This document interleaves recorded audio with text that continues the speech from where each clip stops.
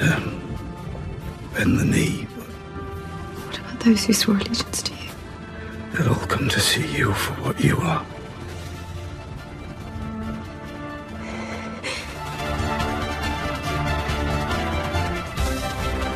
The dragons are my children.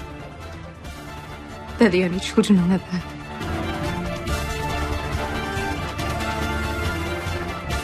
He's the heir to the Iron Throne.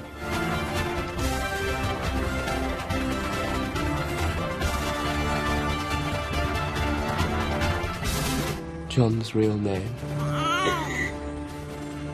His name is Aegon Targaryen. You have to protect him.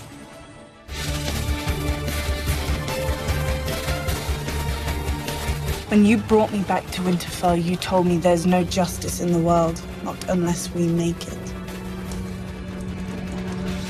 Thank you for all your many lessons, Lord Baelish. I will never forget them.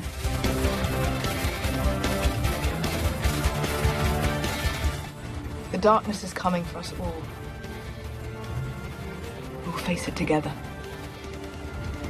And when the Great War is over, perhaps you'll remember I chose to help. With no promises or assurances from any of you.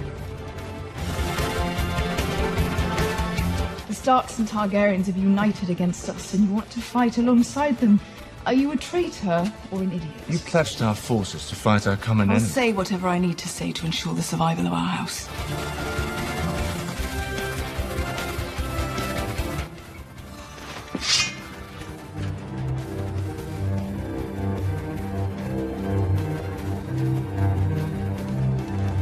I don't believe you.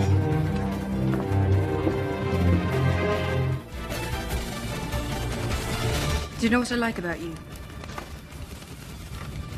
I honestly don't. You're not a hero. Oh. I've been heroic on occasion. If you're going to anticipate their actions, respond effectively and beat them. Which I want you to do very much. Because I believe in you and in the world you want to build.